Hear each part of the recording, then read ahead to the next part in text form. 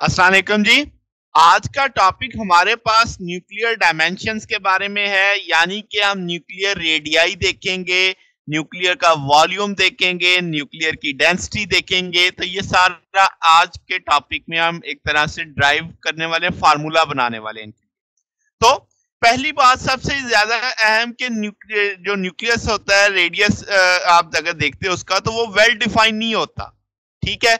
तो हम उसे एक तरह से, ऐसे किसी रिजिड स्फीयर की तरह डिस्क्राइब नहीं कर सकते। मगर एक्सपेरिमेंट बताते हैं कि इसकी शेप स्फीयर की तरह ही होती है और उसका रेडियस जो है वो डिपेंड करता है एटॉमिक मैस नंबर पे। ठीक होगी बात? अब ये किस तरीके से डिपेंड करता है, क्या रिलेशन होगा, यही हमारा आज का टॉपिक है। तो इसमें सबसे अहम किरदार था रदरफोर्ड की स्कैटरिंग वाले एक्सपेरिमेंट का। 1911 में जब उसने देखा कि भाई आपके पास स्कैटरिंग हो रही है एटम में किसी पार्टिकल से तो एक सादा सादा सा कंसेप्ट था कि हमने उसका साइज़ और शेप स्टडी करना है किसका भाई, कि आपके पास हम बुनियादी तौर पे प्रॉबिंग पार्टिकल करेंगे प्रॉप करने के लिए थ्रो करेंगे उसके ऊपर और उससे उसके इफेक्ट्स जो हैं वो मैयर करेंगे।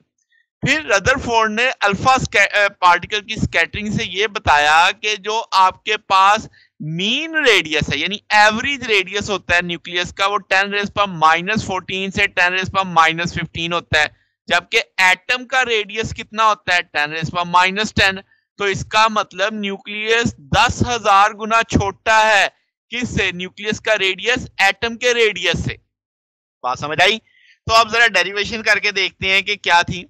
तो लेट से गोल्ड न्यूक्लियस है आपके पास, जिसका रेडियस हम आर ले लेते हैं अल्फ़ा पार्टिकल बम्बार्ड किया है, जब अल्फ़ा उसके न्यूक्लियस की जानिब आ रहा होगा तो वो स्कैटर करेगा उसके स्टेट पाथ से। अब ये स्कैटरिंग जो है डिपेंड करेगी इम्पैक्ट पैरामीटर से।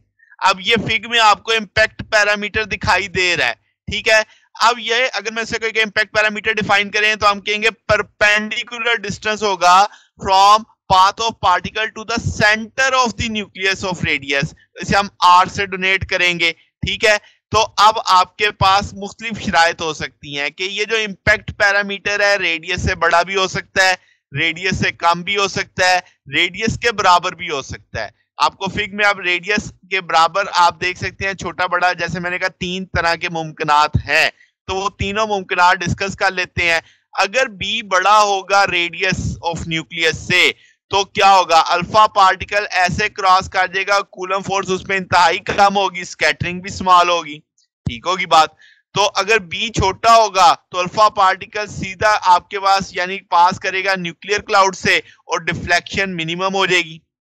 अगर वो आपके पास बी और आर बराबर हो गए, तब डिफ्लेक्शन मैक्सिमम होगी। क्यों?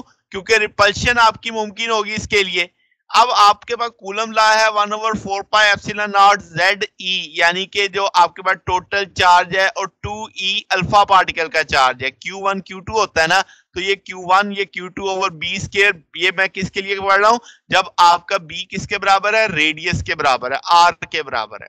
तो अब यहाँ से अगर मैं कहूँ कि डेल्टा टी टाइम लगा अल्फ़ा पार्टिकल को वी वेलोसिटी से मूव करते हुए, जब वो कूलम फोर्स एक्सपीरियंस कर रहा था तो S is equal to V T के कंसेप्ट से आप लिख सकते हो कि delta T B over V B यहाँ पे डिस्टेंस है वी यहाँ पे वेलोसिटी है। तो अब आपके पास जब वो फोर्स एक्सपीरियंस कर चुका होगा तो उसका जो मोमेंटम चेंज इन मोमेंटम देखेंगे तो वो एफ़ क्रॉस टी आ जाएगा। तो ये वैल्यू अगर मैं एफ़ की यहाँ पे इस फार्मूले में लगा दूँ और डेल्टा टी की वैल्यू मेरे पास है, वो वैल्यू प्लेस कर दूँ। तो आपने चीज़ें बस अरेंज करनी है, यहाँ से बी बी से कट जाएगा तो सिंपल फार्मूला ये आ जाएगा आपके पास। ये चेंज इन मोमेंटम आ गया। ये अकॉर्डिंग थ्रू हमने कूलम फोर्स निकाला। अब अगर हम ज्योमेट्री के कंसेप्ट से देखें तो ये आने वाला मोमेंटम था, ये चेंज इन मोमेंटम है। तो टेन थीटा आपको यहाँ से मिलेगा। डेल्टा पी ओवर पी अगर हम कहेंगे थीटा इंतहाई कम है, यानी डिफ्लेक्शन इंतहाई कम है तो साइन थीटा थीटा के बराबर आ जाएगा कॉस थीटा वन के बराबर आ जाएगा। तो ये वैल्यू अगर हम रख देते हैं तो डेल्टा पी ओवर पी तो यहाँ से थीटा ओवर वन का कंसेप्ट आ जाएगा। तो यहाँ से आप पी थीटा लिख सकते हैं कि डेल्टा पी बराबर आ जाएगा। किसके? पी थीटा के और हम जानते हैं मोमेंटम एम वी होता है तो delta P M V theta लिखा जा सकता है। अब एक डेल्टा पी ये आया था कूलम ला से। एक डेल्टा पी आया ज्योमेट्री से।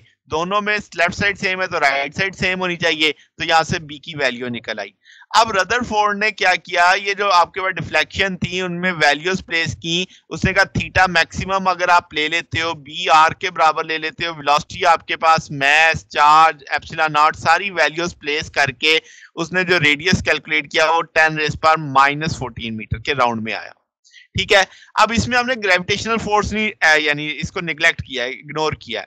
तो जो रेंज आई फोर्स की, वो टेन रेस पर माइनस फोर्टीन मीटर की आई, जो कि एक शॉर्ट रेंज फोर्स है। फिर रदर फोर्ड ने मुख्तलि एक्सपेरिमेंट से ये भी बताया है कि रेडियस जो है वो प्रपोर्शनल होगा मैस नंबर के क्यूब रूट के, यानी कि आर रेडियस है प्रपोर्शनल है, एक ही पावर वन बाई थ्री के। आर नॉट यहाँ पे कांस्टेंट के तौर पे आएगा 1.2 point two into ten raise पर माइनस थर्टीन सेंटीमीटर या 1.2 फर्मी के बराबर लिखा जा सकता है। ठीक हो गया? तो अब आप इसके कैसे मेंशन कर सकते हैं कि जनाब, आपके पास अगर हम वॉल्यूम देखना चाहते हैं तो four by three pi R cube R की वैल्यू अब आपके पास है, वो सारी वैल्यू प्लेस कर दी तो आप four by three pi R naught cube A लिखा जा सकता है। आर नॉट उसका बेसिक आपके पास आ जाएगा रेडियस ए आपके पास मैथ नंबर आ जाएगा।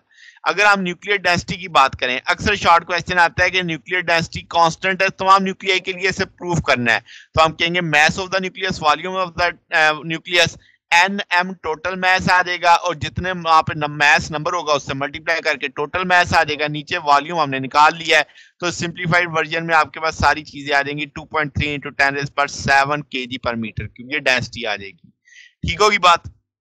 अब आपके पास अगर सवाल पेपर में कैसे आएगा? वो कहेगा, हीलियम का रेडियाई बताओ, यूरेनियम का बताओ तो फार्मूला अब आपके पास है आर नॉट की वैल्यू आपके पास है। तो आर नॉट में सिर्फ़ हम 1.2 लिखेंगे, जवाब हम फर्मी में बताया करेंगे।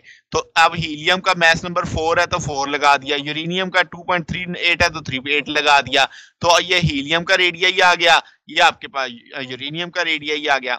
यहाँ फिर क्वेश्चन कैसे आएगा कि वो एक एलिमेंट का रेडियस खुद बता देगा और कहेगा, दूसरे का बताओ। अब आपने इसका रेशियो का कंसेप्ट ले लेना है कि आर वन ए वन एक का रेडियस और मैथ नंबर हो जाएगा आर टू ए टू दूसरे का हो जाएगा, उनकी रेशियो उठा लोगे आर नॉट आर नॉट से कट जाएगा।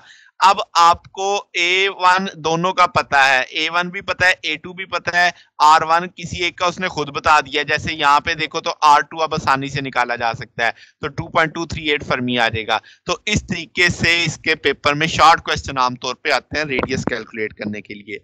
तो ये हमारा आज का टॉपिक था। अगर आपको इसमें कोई बात पूछनी हो डाउट हो तो नीचे कमेंट्स में पूछ सकते हैं। वीडियो अच्छी लगी हो तो वीडियो को लाइक कीजिएगा, दोस्तों के साथ शेयर कीजिएगा चैनल को सब्सक्राइब कर दीजिएगा।